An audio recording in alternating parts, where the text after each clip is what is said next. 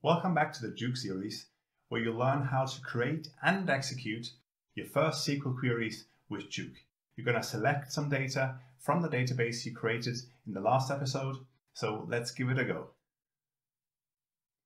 Back in the project, go to your app class or to your jOOQ class. Any class with an empty void main method will do.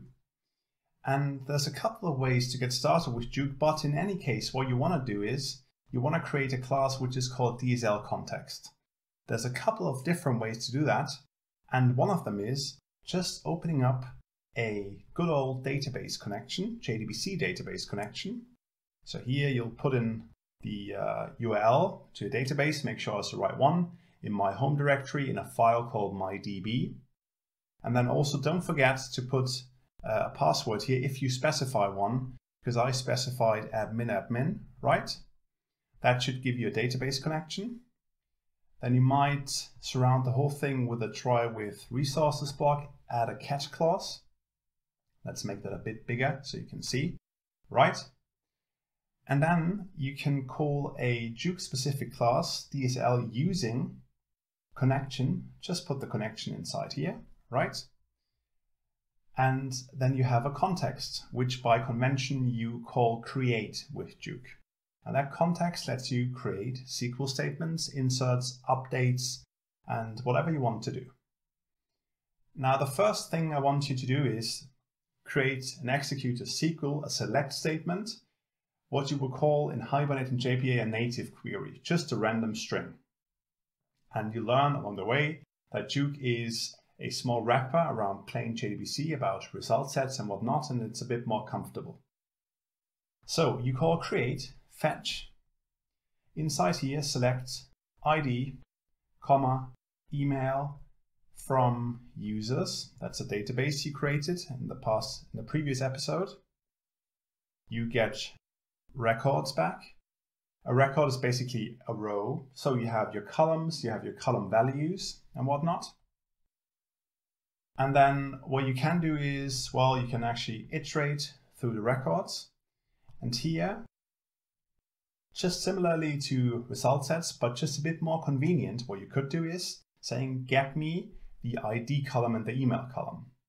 And now think back to we generated some code, also in the last episode, where jOOQ basically creates classes for the tables and columns. So you can reference these tables and columns like so. So you say users users dot email. That's a reference to your email column. And you get uh, typed email back, it's a string. If you copy that line here, now instead of email, you want to get the ID back. Again, you get your ID typed. And it's a bit stupid because users.users users is a reference to your users table. And to make it nicer to read, you can add a static import. So now you would basically write it like this. Record get users.email users.id. Right. And then you can simply print it out to the console. So you might want to have something like ID plus email, just like that. Now let's run our program, see if it works. Right, boots up, and as you can see, thank you for using jOOQ. Well, it's a pleasure. And you see my two emails that I, or my two users rather, I inserted into the database in the last episode. Great. Just a quick note, you don't even have to print it out like so because jOOQ comes with a nice representation of the records. So you can just print out the whole record and now see what happens in the console. You will actually get, actually, let me just remove that and you'll see that they simulated a real table or real table results. You see record here, ID, email, 52, Marco, Marco Behler, ID email someone else. So that looks nice on the console as well. Now, writing plain native query statements is not the greatest thing to do. So far, we only used the column references when getting stuff from the database. But of course, you can also do that when selecting. So instead of saying fetch, you simply select something. Now in here, you don't put anything if you want to select every column or similarly to later on, you just put user's email and user's ID in here. Right, that didn't work properly, so I'll just change it, user's email, like so. And then it's pretty much normal uh, SQL. So you just say, well, select me these two columns from a table. So from my users.users table, right? Just like so. You could also put where clauses in here. You can play with that as an exercise. But for now, we simply want to get the whole thing going. So what you basically do is select everything, fetch, and that's it. Select these two columns from users fetch.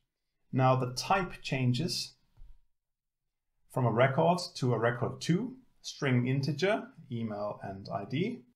And if you look at, actually let me just quickly show you that. If you look at record 2 and go inside the library, you'll see you have a couple of records, record 1, 2, 3, till 22, so up till 22 columns basically. Now let's go back to the jOOQ class, right? Let's look at everything. So we have that, and that should still work. Now let me just put the user ID back in here, right? And uh, like so, email plus ID, right? Run it. And that works as well. So you get your email and ID now in reverse order back printed out to the console. But the main takeaway here is you have a nice little helper API just modeled around SQL. So create everything you want where it's just plain SQL. It's a very nice API on top of SQL, on top of JDBC actually, that models SQL perfectly. You call fetch, you get records, and you can do with them whatever you want. All right, these were two of the simpler methods of how to create and execute select statements with jOOQ.